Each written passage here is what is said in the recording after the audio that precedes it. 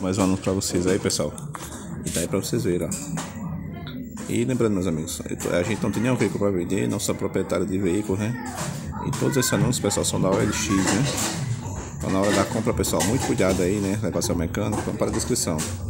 O valor desse caminhão é 89 mil, é um 790, né?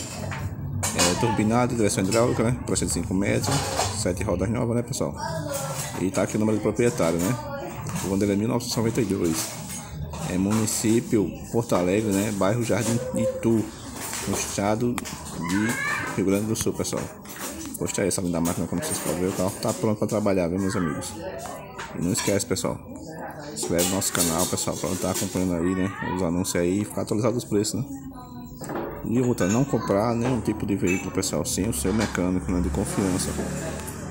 Para depois não ter prejuízo, pessoal, porque, como eu estou, não parafuso que falte ou porque teve folgada já é prejuízo. Então,